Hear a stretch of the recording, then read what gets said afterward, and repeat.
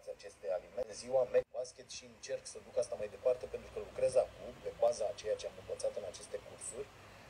la care, de fapt, sunt două care au copii la sport. Și dimineața aia mâncau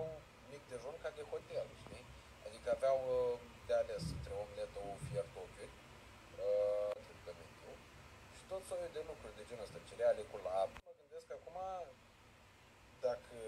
nu cumva, chiar și aici avem o mare problemă, pentru că nu ai cum, fratele meu, în momentul în care un om uh, trecut de vârsta fotbaliștilor, pentru că te-ai apucat de schimbarea asta după 30 de ani, Mhm. uh, în momentul în care un om își schimbă după uh, o anumită vârstă complet modul de viață și performanțele și fizice și intelectuale și de toate uh, uh, tipurile, uh, urmând un, pro, un program atât de strict, nu știu dacă tu poți să pretinzi performanță sau, nu știu, să fii uh, competitiv cu unii care fac chestia asta și tu uh, să trăiești ca un om uh, cât se poate de uh, normal. Că nu zic, adică mie mi-e greu să-mi imaginez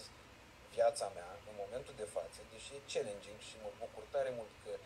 realizăm episodul ăsta acum la sfârșit de an și oamenii o să-l vadă la începutul unui an, când de multe ori se întâmplă schimbări de astea și oamenii au tentative